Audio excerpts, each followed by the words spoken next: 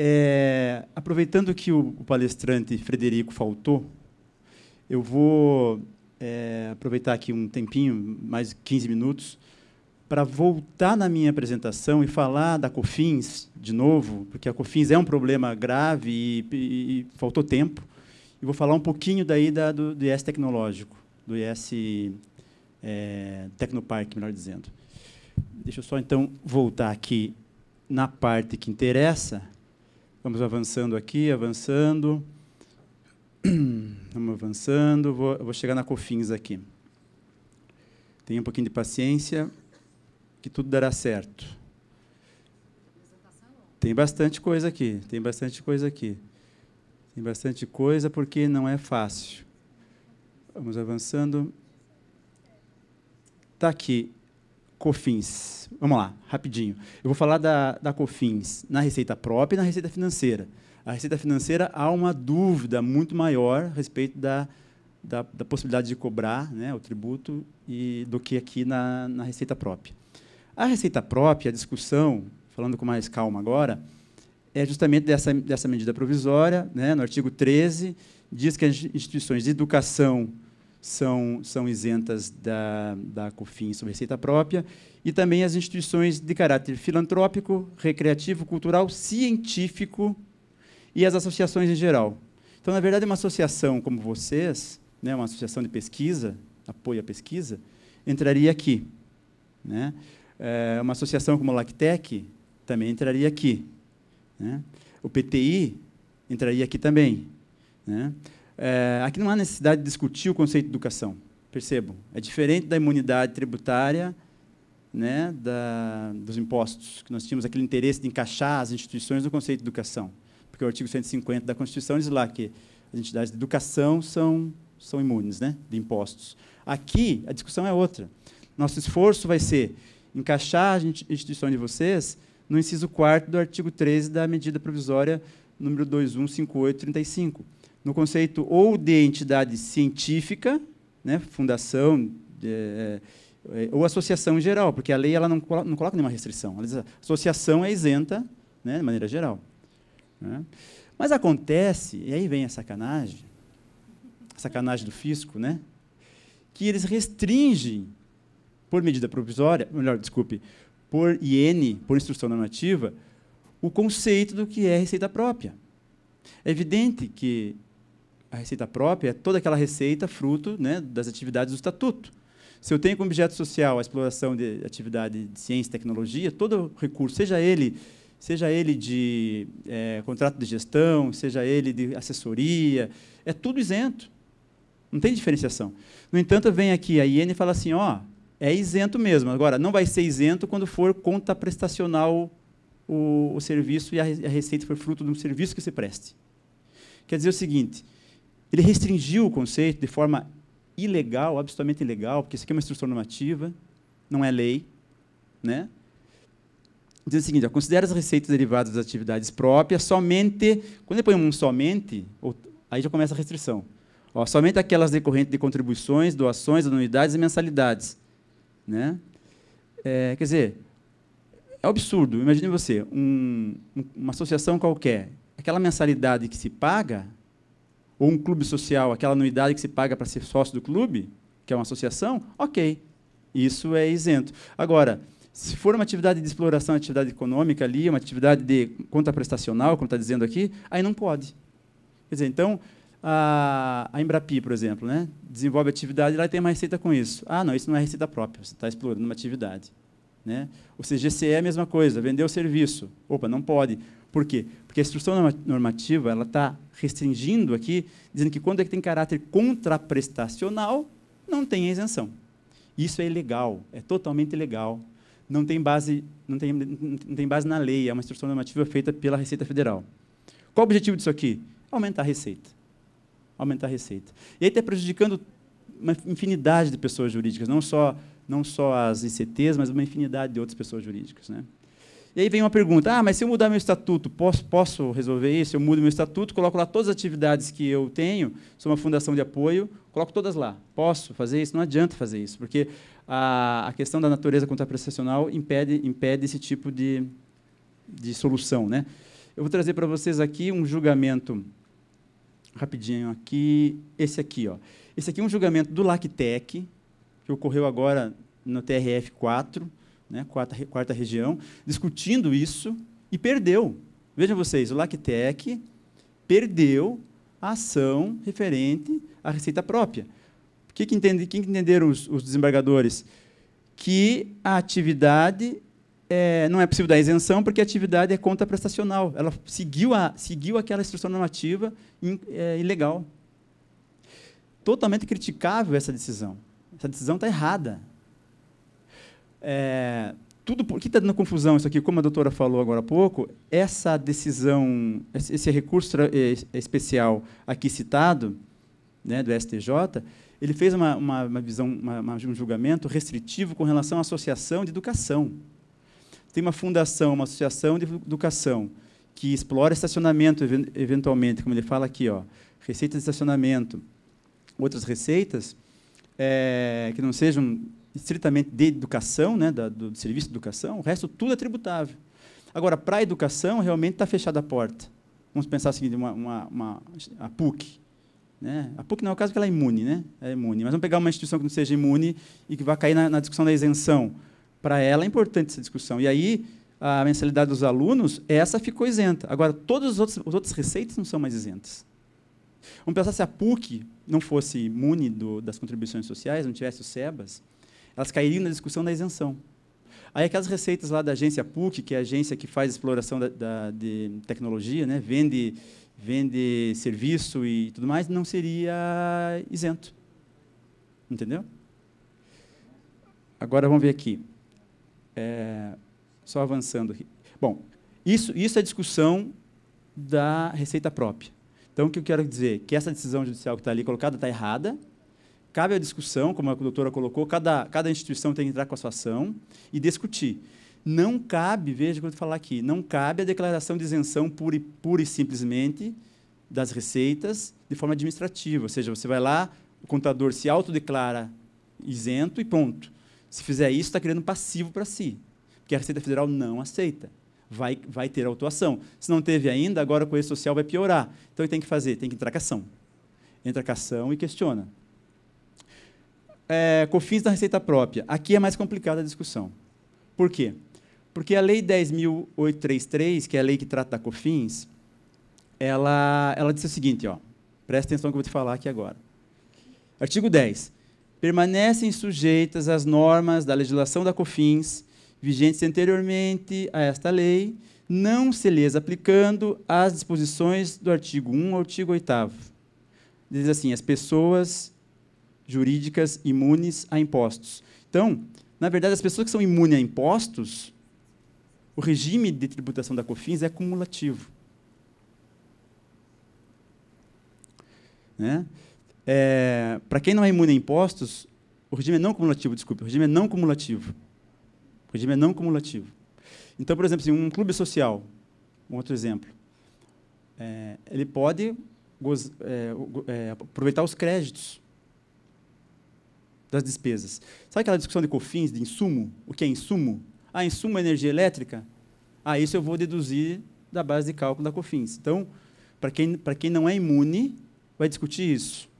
Ou discute isso, que é possível, tem algumas pessoas jurídicas fazendo isso. Vamos discutir conceito de insumo, uma discussão complexa, porque é uma discussão mais para empresas, mas que se aplica também para as, para as instituições. Ou ele vai discutir o seguinte: é, vai discutir o seguinte, que cabe a isenção. Cabe a isenção da COFINS. Agora, o problema aqui é o seguinte: se você olhar o decreto que aumentou a alíquota, porque a COFINS foi assim, ela, a lei a, a lei da COFINS veio, determinou as alíquotas, depois, por decreto, foram reduzidas as alíquotas para zero. Entendeu? O decreto reduziu para zero a alíquota. Em 2015, com a crise econômica, o governo resolveu aumentar a alíquota da COFINS para 4%, por decreto também. É aí que está o problema. Perceba uma coisa, estamos discutindo aqui é aumento, redução da alíquota para zero e depois aumento da alíquota para 4% por decreto. Né? Esse decreto que aumentou. Agora, qual é a discussão? que as entidades estão, falando, olha, então, na verdade, não podia o decreto aumentar a, a alíquota por, né, aumentar a alíquota por decreto, porque só pode a lei aumentar a alíquota. Estamos discutindo o princípio da legalidade. O decreto não podia aumentar, só a lei. Então, que, qual que é a medida da discussão? É essa. Resumindo, é isso. Pode o governo aumentar a COFINS para 4% por decreto? Ou tem que ser por lei? A discussão é simples. É essa a discussão. E aí, qual que é a complicação? É, a complicação é o seguinte, a, como foi dito a colega aqui, um julgado que eu peguei da Rede Nacional de Ensino e Pesquisa, que é lá em Brasília também, é uma OS, essa, essa, essa pessoa jurídica, é uma associação. Né? Ela discutiu com a União e perdeu. Foi dito aqui o seguinte, ó, Tribunal Regional da Segunda Região, tributário, processual, é, COFINS, ó, o decreto 8426-2015, não majoração da permissão legal, alegação da isenção inexistência. Quer dizer, não tem, não tem isenção. Foi resolvido isso, ó, não tem isenção. Ou seja, vale aumento, o judiciário entendeu isso, vale o aumento da alíquota da COFINS por decreto. Mas isso para esse caso. E a notícia, aqui só, só uma, uma, uma, fotinho explicando quem é a, a, a RNP. E aqui, e aqui eu trago para vocês mais um julgado, porque veja, essa situação da, da receita financeira é uma discussão que afetou não só as associações de tecnologia, mas várias outras. Né? E os julgados do STJ estão indo todos nesse sentido, que pode aumentar por decreto. Né? Pode aumentar por decreto. E a, e a situação é tão complexa, a situação é tão, tão complexa que isso foi até o STF, e agora uma, uma, uma questão importante para vocês tomarem conhecimento disso, muitas pessoas não sabem disso, foi até o STF essa discussão em repercussão geral, quer dizer, vai se aplicar, uma vez decidido isso, a todas as, as associações, né, desde que tenham ação em trâmite. Né, foi discutido aqui uma repercussão geral, aqui em 2017, justamente, quer dizer, repercussão geral é assim, é um assunto polêmico que vai ter um impacto na sociedade muito grande, econômico, social, eles colocam lá, vamos deixar esse assunto aqui para discutir mais na frente? Vamos? Então vamos. Né? Basicamente isso. E está lá na repercussão geral. Agora, isso aqui pode demorar 10 anos para julgar. Esses dias eu fui em um evento em Brasília e um, uma pessoa fez um, uma, uma, tese, uma, uma tese de, de doutorado falando sobre repercussão geral. Ele estava explicando que a repercussão geral é, dado a forma como está construído no, no, texto da lei, é, vai demorar 10 anos para julgar as repercussões gerais que estão, sendo julgadas agora. Então, essa repercussão geral aqui, nós vamos julgar ela daqui a 10 anos. Então, até lá, insegurança jurídica. Então, ou você entra com a ação, deposita o valor, né? É, o que não pode é você não pagar. Se você adotar uma, uma posição, se assim, ah, não vou pagar porque eu vou acreditar que COFINS Receita Financeira eu vou ganhar, você não vai ganhar. Pode ser que você perca. Quer dizer, vai ganhar, não sei se vai ganhar, não vai, vai ver, né? Mas pode ser que não ganhe, então, para evitar isso, você deposita juízo, é o mais, é o mais adequado. Né? E, por fim, aqui, só para fechar, qual que é o problema da, da exploração da atividade econômica, das ICTs? Por que, que se tributa as ICTs e por que está toda essa confusão também? Né? Um pouco é por causa do seguinte, na o artigo, o artigo 150, parágrafo 4 diz lá que é imune dos tributos, tal, as instituições, só que cria um probleminha aqui que fala assim, só as atividades relacionadas às atividades essenciais das entidades. Essenciais? O que é essenciais? Educação é essencial, ok. Mas e o resto é essencial? Aí eles não dizem que não e começa a confusão. Né? Uh, aqui eu tenho julgado que fala o seguinte, das igrejas, mas que serve para vocês também, que foi o seguinte, ó, as igrejas estavam explorando a atividade econômica, estavam vendendo produtos. Pense lá você, vende, enfim, vários produtos religiosos. E, e a União começou a tributar isso, entendendo que não pode uma igreja explorar a atividade econômica. Né? Só que uh, tem julgados estão dizendo que desde que a receita daquilo seja revertida na finalidade da, da entidade, pode explorar, não teria problema. Então aqui me abre aqui uma possibilidade de vocês das ICTs imaginarem até a possibilidade de de repente vender mercadoria, produzir um, um produto inovador e partir para algo mais mais agressivo, é vender aquela mercadoria, reverter aquele dinheiro na finalidade da instituição e mesmo assim em certa medida, gozar de alguns benefícios, desde que você, lógico, consiga uma, ação, uma, uma sentença judicial favorável enquadrando na, na educação, lógico, né? Partindo do pressuposto que você é imune, como educação, uma ECT, né? Você pode até explorar a atividade econômica. Lógico, não que isso seja preponderante a tua atividade principal, mas que se for menor, pode fazer. A PUC não faz isso? Quando a Pontifícia Universidade Católica, quando vende é, serviço para o mercado, quando, quando tem receita de, de transferência de tecnologia, ele não está explorando na atividade, está explorando. É imune? É imune. Entendeu? Então, é, essa discussão era muito bacana. É, já tem vários julgados com relação a isso. Um deles vou trazer aqui do IPTU, que é, é paralela, a discussão é paralela, porque fala o seguinte: perceba aqui, ó, não importa a origem da receita. Nós estávamos conversando hoje no almoço. Importa a aplicação da receita. Por exemplo, aqui, ó, os imóveis das entidades de saúde, educação, assistência social, igrejas, estavam sendo tributados com IPTU. Ah, de, quando, quando essa entidade é, alugava um imóvel qualquer. Um imóvel seu alugava. Diziam lá o, o fisco, o município, ah, está, você está desviando a finalidade da, do imóvel que não está sendo aplicado na tua finalidade. Está alugando para um shopping center, para um estacionamento e tal. Aí essa discussão avançou, avançou, avançou, foi editada essa súmula, que diz o seguinte, olha, não importa se a origem da... Não importa a aplicação, do, a utilização do imóvel. O importa é o seguinte, se você aplicar, e é importante isso, ó, ao dinheiro obtido com a, o aluguel na finalidade da entidade, na finalidade, é o que vale. Aí está aqui, ó. Né? Os valores, reverti, valores aluguéis revertidos na finalidade da entidade é o que vale. Então, o que tem que prevalecer é, é o fim do dinheiro aplicado, né? onde foi aplicado isso, e não a origem da receita. Né? Então é isso, meus amigos. Para encerrar, eu só quero citar esse artigo é, 36 da Lei 12.529, que é a lei que trata a atividade, da atividade econômica como um todo, e aqui fala o seguinte: é, ele trata da, da, das infrações da ordem econômica, né? Quando que é a infração da ordem econômica? Quando é isso aqui, ó, limitação, é, é, falsia, qualquer prejudica a livre concorrência, quando domina mercado, aumenta arbitrariamente o lucro, exerce de forma abusiva a exploração econômica, a exploração da posição é, do dominante.